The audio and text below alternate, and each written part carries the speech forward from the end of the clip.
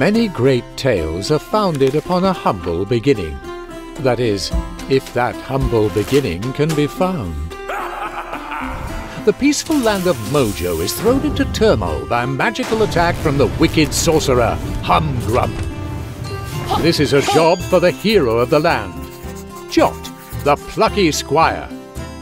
Jot has a knack for defeating wickedness with his trusty blade, and this battle against the horrid Humgrump should prove to be no exception.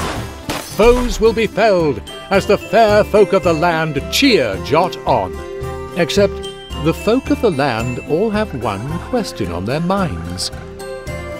When will this grand new adventure actually, you know, begin? The land was abuzz, the anticipation electric. Jot could not let the people down, and luckily, it seems that he has found an answer to their question. Yes, Jot, that seems to be working. You always have a way with words. Keep it up.